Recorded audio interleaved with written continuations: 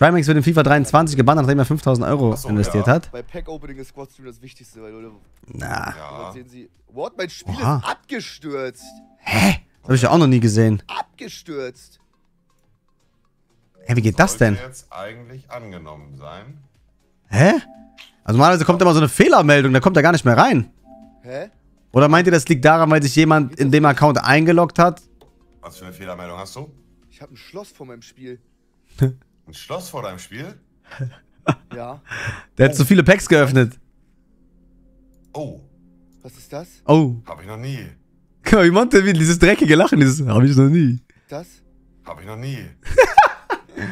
Äh. Ein Schloss vor deinem Spiel. Was soll ich machen? Wurdest du gesperrt? Du besitzt?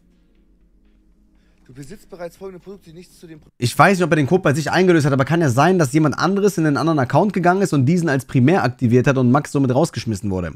Kann gut sein. Was anderes kann ich mir nicht vorstellen, wenn man ein Schloss vom Spiel ist, weil der hat's doch gekauft.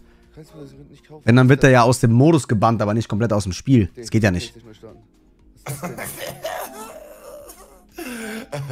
Das ist immer der erste, äh, der erste Instinkt, den man macht, die, die, die Konsole nochmal neu starten. Ehrlich, Konsole neu starten bringt immer was. Genau wie PC neu starten. Wenn irgendwas faul ist, immer neu starten. Das 50-50 bringt immer was. Richtig? Nee, oder? Du? Was? Machst äh, nicht, nicht. Du? Du machst doch mit jemandem 50-50. Aha. Äh, ich glaube nicht, oder? Ja, doch, machst du. Daran liegt das. Ja. Ja, ja, ja. Deswegen. Ja, ja.